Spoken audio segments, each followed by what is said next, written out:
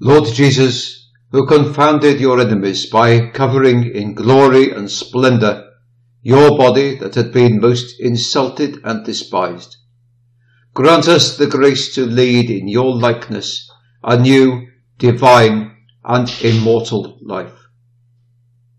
Grant us, O Lord, to realize in us the priceless gift of redemption, to grow more and more every day from virtue to virtue, until we come to you, O God, who are the source and the true life. Come, divine Saviour, into our hearts, as in the upper room. Repeat in us as you did to the apostles. With your heavenly greeting, peace be with you. Show us, as in St. Thomas, your glorious wounds and stay with us forever. Amen. Let us pray. Praise, honour and glory be to you, O Christ, who from the cross looked down upon your mother, overwhelmed with grief and tears, and so truly took compassion on her sorrow, commending her to the care of your disciple John, as also you commended John and in him all of us to her maternal care. Grant me to love and honour your mother with the purest and most ardent love, that I may have her for my mother and be worthily acknowledged by her as her son. Grant that in every necessity, and especially at the hour of my death, I may find her ever present and at hand to help me. Praise, honour, and glory be to you, O Christ, who with your wounds gaping, and your head crowned with thorns, while hanging in misery upon the cross, declared that you were without any consolation. Grant that in all adversity and times of temptation and desolation, I may fly with faith to you, my most holy Father, and putting no confidence in myself, grant that I may place all my hopes in you alone, and entirely resign myself and trust in you. Wound my innermost soul with the remembrance of your wounds. Write and imprint them upon my heart. Satiate me wholly with your blood, that all my intentions may be fixed in you alone, and that I may seek and find and hold you fast, possessing you for ever and ever. Praise, honour, and glory be to you, O Christ, who, when your body was exhausted from the loss of blood, gasped for breath, and cried out on the cross that you were tormented with thirst, while you burnt with unspeakable desire for our salvation. Give me grace to thirst most ardently after your honour and the salvation of souls, and be ready cheerfully to spend myself for them, according to your will.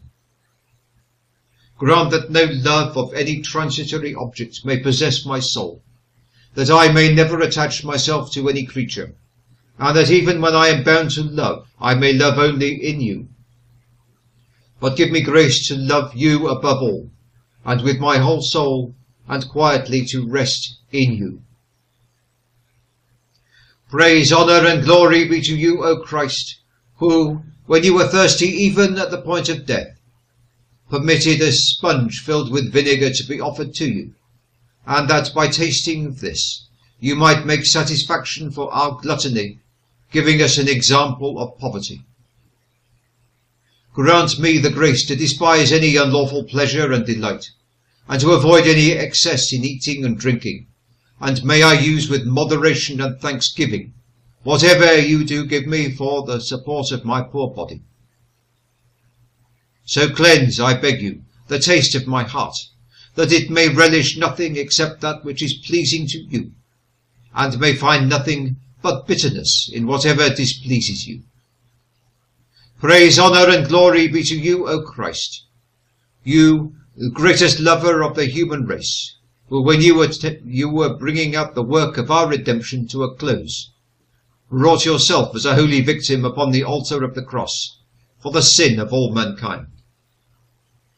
May this be the only end, I beg you, of all my thoughts, words, and works. namely, to seek your honour with an upright and sincere heart, and to desire nothing save you alone. Grant that I may never grow weary or lukewarm in your service, but a fervent spirit always be ever renewed within me, that I may daily more be more and more inflamed to love and praise you. Praise and honour and glory be to you, O Christ, who willingly underwent death, when commending yourself to your Father, and bending your adorable head. You gave up the ghost, and thus by laying down your life for your sheep, showed yourself to be the good shepherd. You are dead, only begotten Son of God. You are dead, my beloved one, that I may live for ever. What hope, what confidence is laid up for me in your death and in your blood.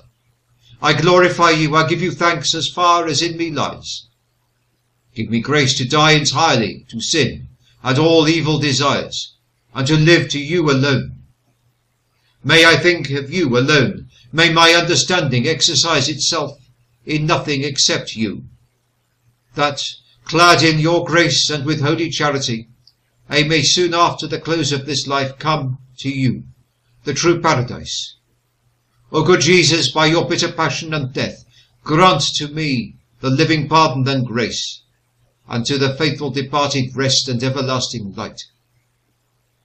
Praise, honour, and glory be to you, O Christ, at whose death the sun withdrew its light, and the veil of the temple was divided in two. The earth quaked, and the rocks were cut, and the graves opened. May the rays of your grace never leave me, I beg you, you Sun of righteousness. You that are my God, may they always lighten even the very inmost recesses of my heart, that I may joyfully serve you for ever. Tear away from me the veil of hypocrisy, Make the ground of my soul quake with saving penitence. Rend in two this heart of stone of mine, that, being wholly renewed within, I may despise anything perishable, and love only the things that are of heaven. Amen. O Lord, open our lips, and our mouths shall sing your praise.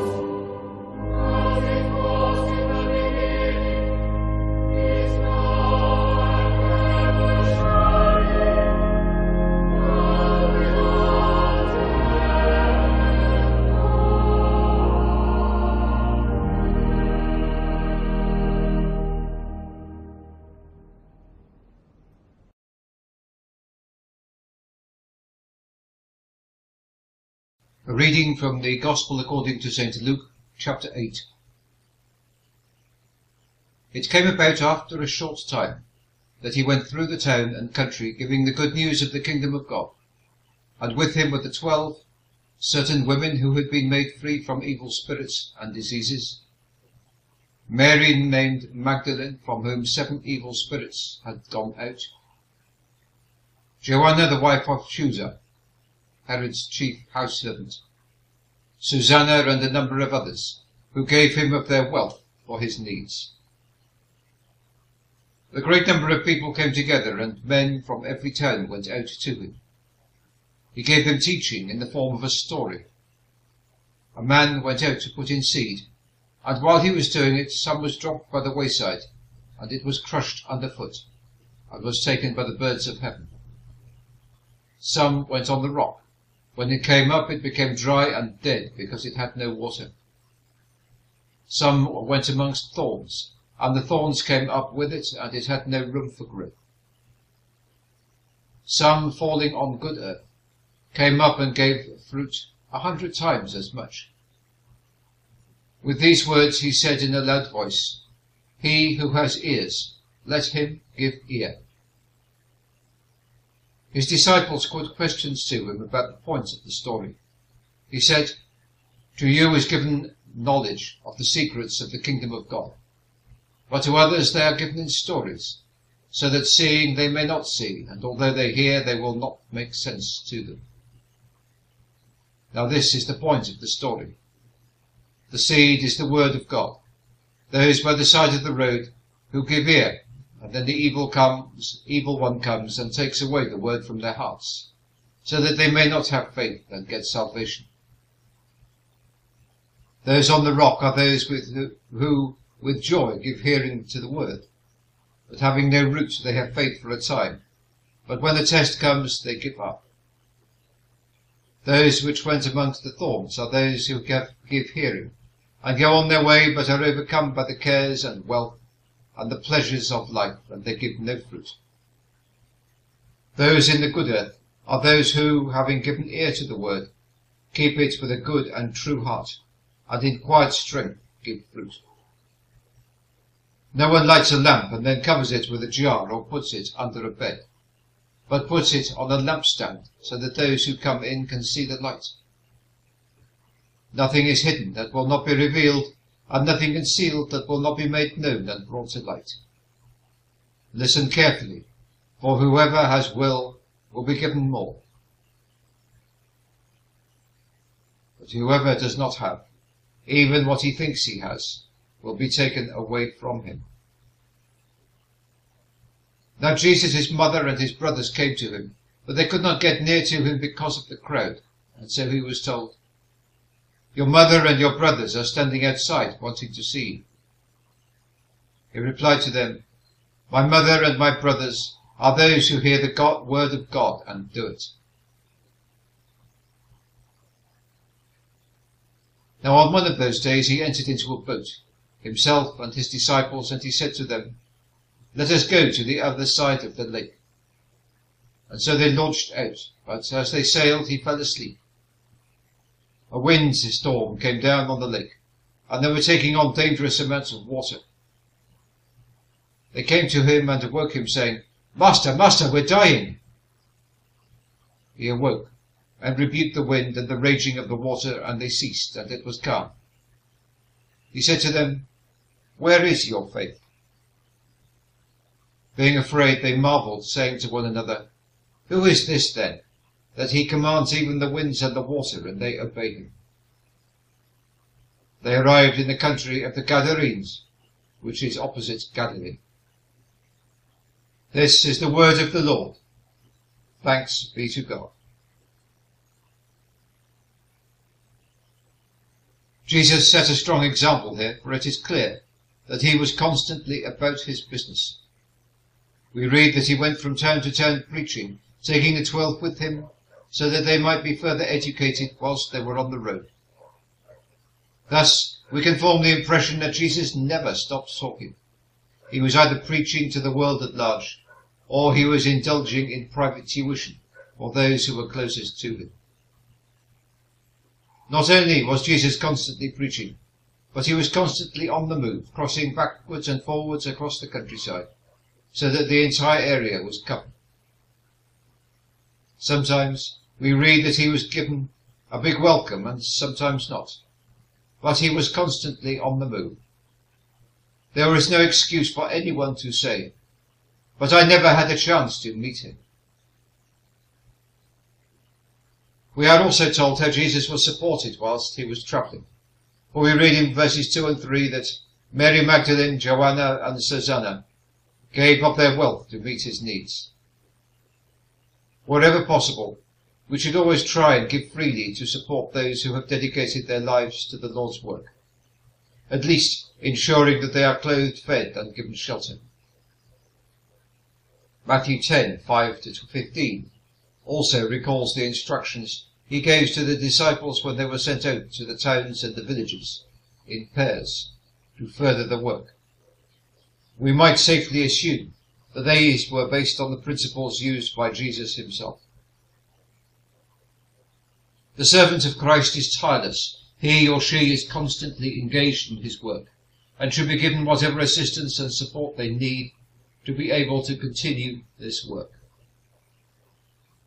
This is not the same as becoming lazy or fat off the land with a substantial bank balance, for these things are not at all suitable for a servant of Christ, who should have no use whatsoever for these things. With a bowl of simple food, a fire for warmth, and a, re- shelter from the weather. The parable of the sower is well known and is well explained here by Jesus to the disciples. However, let us set aside the familiarity, just for a moment, and ask ourselves a simple question. Where are we in the scheme of things? Are we on the path or on the fertile soil? Are we being choked by weeds or are we flourishing? How deep is our faith rooted? Are we strong enough to remain in the faith even when the going gets hot under the midday sun and all around wither and fall away? Are we in the first flush of growth, but are all show with nothing under the ground to support us? Can we fight off the attacks of the world, those deadly thistles which seem to overcome everything but the strongest plant? Let us pray that our faith can establish strong roots and grows resilient to all the thorns that our challenges can throw at us. Then in verse 16, we are reminded that if we light a lamp, we put it in a place from whence it can shine its light over as great a span as possible. We do not attempt to hide it. Likewise, we who have received the light, the gospel, must allow it to shine in our lives, so that others might also see it and ask whence it comes. If we are Christians, we have a duty to our Lord to fly his flag from our masthead. Yes, it is to invite criticism and persecution. People may well laugh at us and consider us stupid, but that is a small price to pay for our salvation in Christ.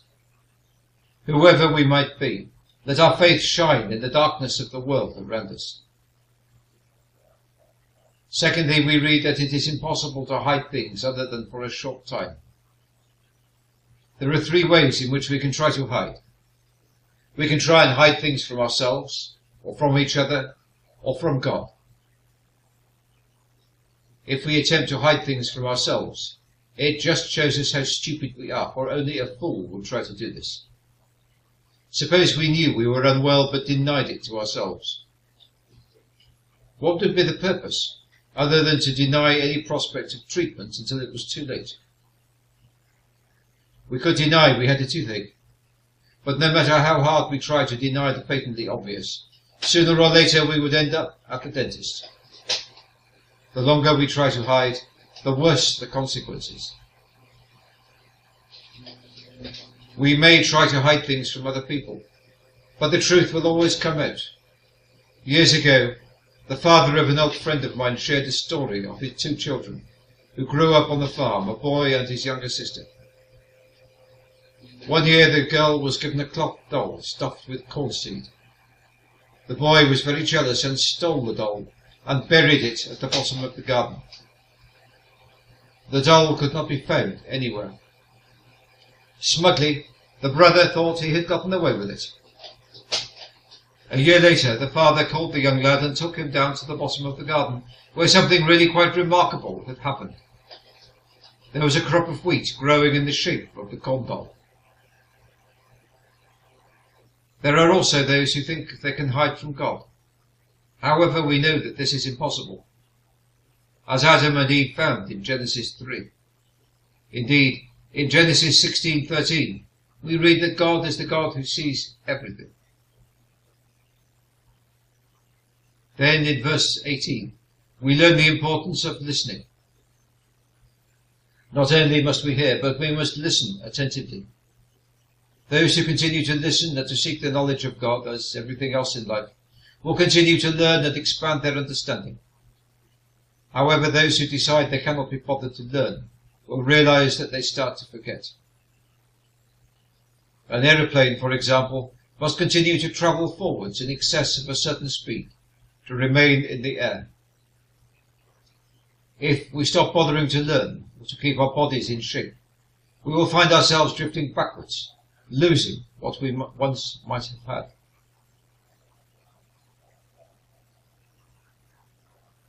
It is not difficult to see that at least during his lifetime, Jesus' family was not in sympathy with him.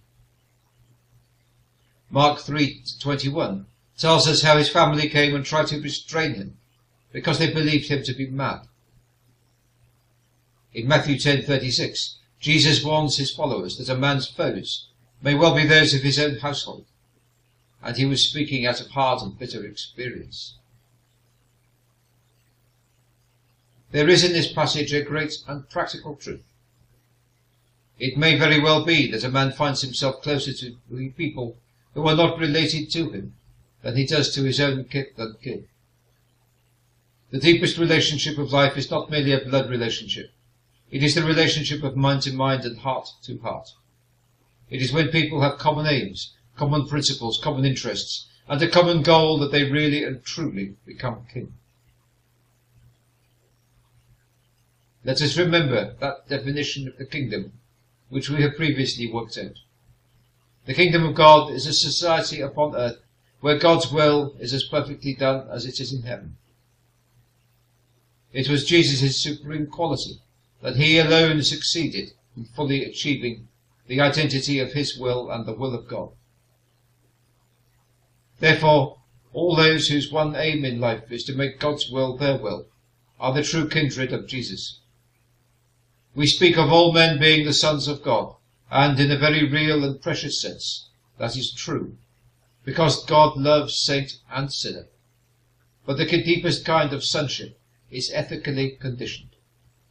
It is when a man puts his will in line with God's will, by the help of the Holy Spirit, that real kinship begins. The Stoics declared that that was the only way to happiness in this life. They had the conviction that everything that happens, joy and sorrow, triumph and disaster, gain, loss, sunshine and shadow, was the will of God. When a man refused to accept it, he battered his head against the walls of the universe, bringing himself nothing but pain and trouble of the heart. When a man looks up to God and says, Do with me as you wish, he has found the way to true joy. From this, two things emerge. There is a loyalty which surpasses all earthly loyalty. There is something which takes precedence of the dearest things on earth. And in that sense, Jesus is a demanding master, for he will share a man's heart with nothing and with no one. Love is necessarily exclusive. We can only love one person at a time, and only serve one master at a time. This is hard, but there is this great wonder, that when a man gives himself absolutely to Christ, he becomes one of a family whose boundaries are the earth. Whatever loss he may experience is more than counterbalanced by his gain. In Christ there is no east or west, in him no north or south, but one great fellowship of love throughout the whole wide earth. In him shall true hearts everywhere their high communion find.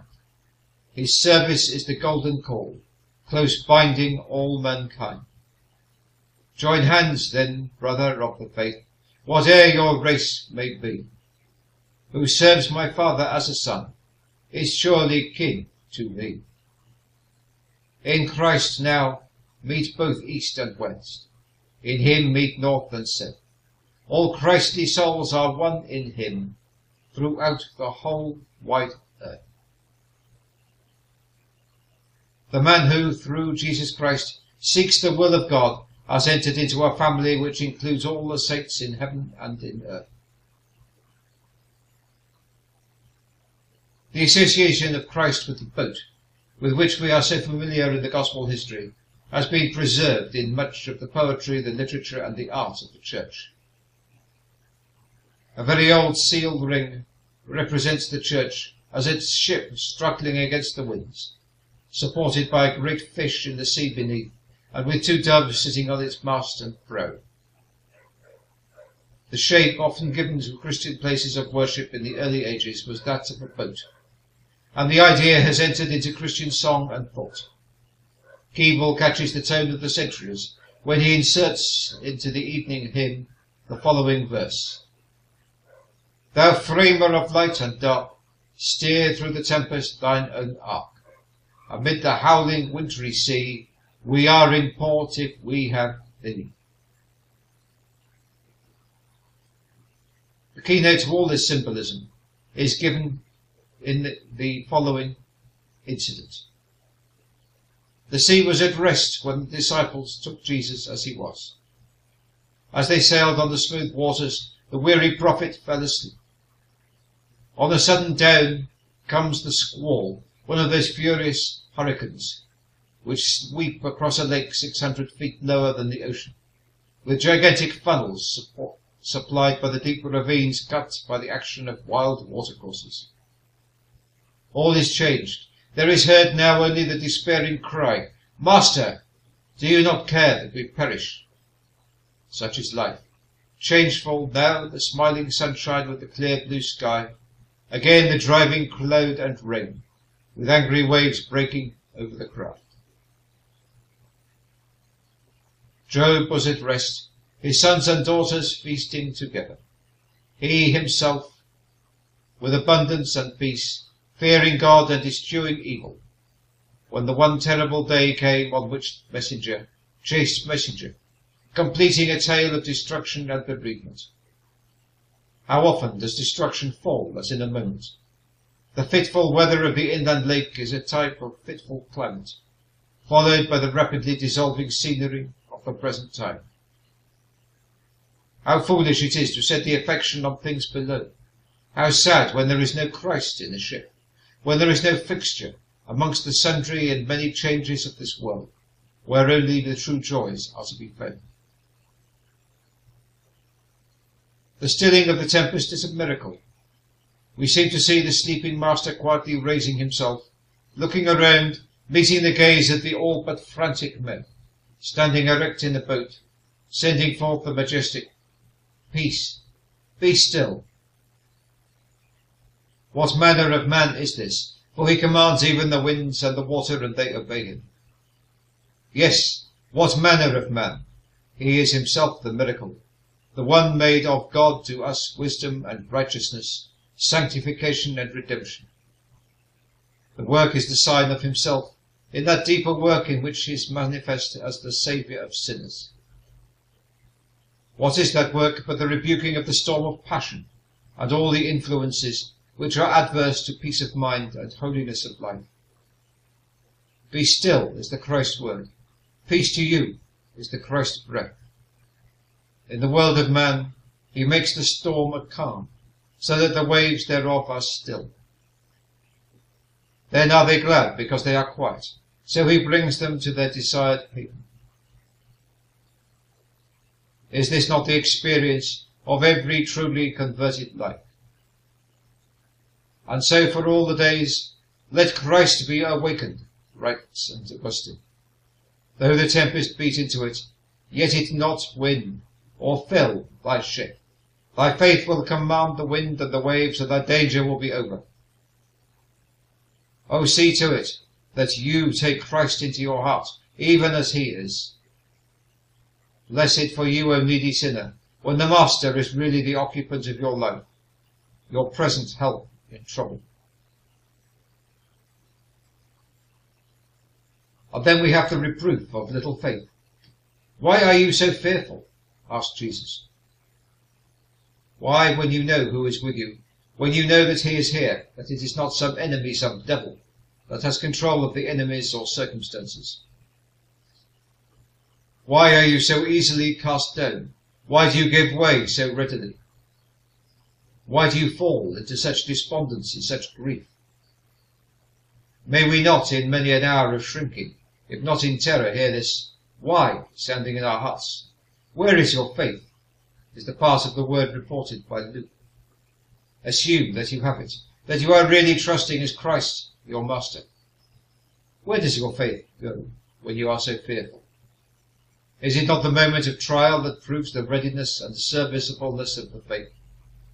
Do we not often need to seek it when we have occasion for it? Verily a question most pertinent to us in the varying circumstances and demands of our life. Think. Think over the adverbs so suggested. Where is your faith?